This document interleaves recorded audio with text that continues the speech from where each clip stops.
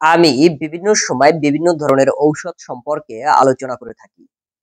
আজকে আমি ফ্লুক্সিফার ঔষধটি সম্পর্কে বিস্তারিত আলোচনা করব। ফ্লুক্সিফার ঔষধটি একমি কোম্পানি তৈরি করে থাকে। এর জেনেরিক নাম হলো স্পারফ্লোক্সাসিন। এটি সাধারণত ফ্লুক্সিফার নামেই পাওয়া যায় এবং এটি ফ্লুক্সিফার টু হান্ড্রেড এমজি ট্যাবলেট আকারে পাওয়া যায়। যে সকল রোগীদের জন্য মূলত ফ্লুক্সিপার ঔষধটি দেওয়া হয়ে থাকে, সাধারণত যে সকল রোগীদের ঊর্ধ্ব এবং নিম্ন শ্বাসতন্ত্রের সংক্রমণ রয়েছে, এটি ঊর্ধ্ব এবং নিম্ন শ্বাসতন্ত্রের চিকিৎসায় অধিক কার্যকরী একটি ঔষধ। তাছাড়া যে সকল রোগীদের সাইনোসাইটিস নিউমোনিয়া কমিউনিটি এবং হাসপাতাল সংশ্লিষ্ট pneumonia bronchitis chronic bronchitis COPD ফুসফুস অ্যাম্বোসিস, শ্বাসতন্ত্রে বিভিন্ন ধরনের সংক্রমণ, মূত্রনালীতে বিভিন্ন ধরনের সংক্রমণ সৃষ্টি হওয়া, মূত্রনালীতে জ্বালাপোড়া করা, মূত্রনালীতে বিভিন্ন ধরনের সংক্রমণ সৃষ্টি হওয়া, ত্বকের বিভিন্ন সংক্রমণ। এ সকল সংক্রমণ দূর করার জন্যই মূলত ফ্লোক্সিপার ঔষধটি দেওয়া হয়ে থাকে।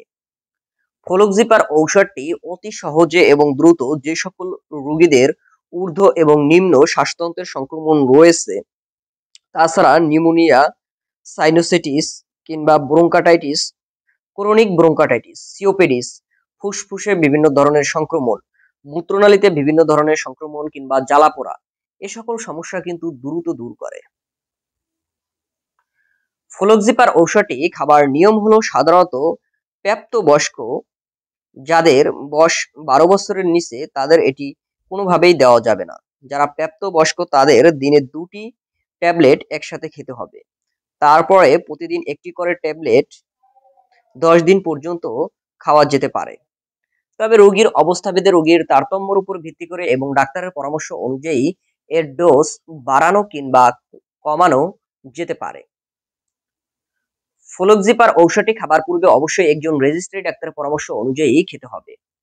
কেননা ডক্টর প্রথম অবস্থায় রোগীকে দেখে কিংবা পরীক্ষা নিরীক্ষা করে বুঝতে পারবেন যে রোগীর কি ধরনের সমস্যা রয়েছে। রোগীর শ্বাসতন্ত্রে বিভিন্ন সংক্রমণ, মূত্রতন্ত্রে বিভিন্ন সংক্রমণ, নিউমোনিয়া, সাইনোসিটিসের প্রবলেম, ব্রোঙ্কাটাইটিস ব্রোঙ্কাটাইটিস, ফুসফুসে বিভিন্ন সংক্রমণ, যাই থাকুক না কেন, ডক্টর যদি মনে করেন যে ফ্লুক্সিপার ঔষধটি দ্বারা রোগীর এ সকল সমস্যা দূর করা সম্ভব, তাহলে ডক্টর ফ্লুক্সিপার ঔষধটিই দিবেন। আর সাথে যদি অন্য কোনো মেডিসিন প্রয়োজন হয় ডক্টর সেটিও দিতে পারেন। সেক্ষেত্রে অবশ্যই ফ্লুক্সিপার ঔষধটি খাবার পূর্বে একজন রেজিস্ট্রি ডাক্তারের পরামর্শ নেওয়াটা কিন্তু অতি জরুরি। ফ্লুক্সিপার ঔষধটি খাবার ফলে কিছু পার্শ্ব প্রতিক্রিয়া রয়েছে, তবে অল্প সংখ্যক রোগীর ক্ষেত্রে এর পার্শ্ব প্রতিক্রিয়া দেখা দেয়। যেমন ডায়রিয়া হওয়া। বমি বমি ভাব হওয়া কিংবা বমি হওয়া, মাথা ব্যথা করা, ঘুম ঘুম ভাব হওয়া, অনিদ্রা, পেটে ব্যথা করা ইত্যাদি হতে পারে। তবে এটি অল্প সংখ্যক রোগীর ক্ষেত্রে হয়ে থাকে।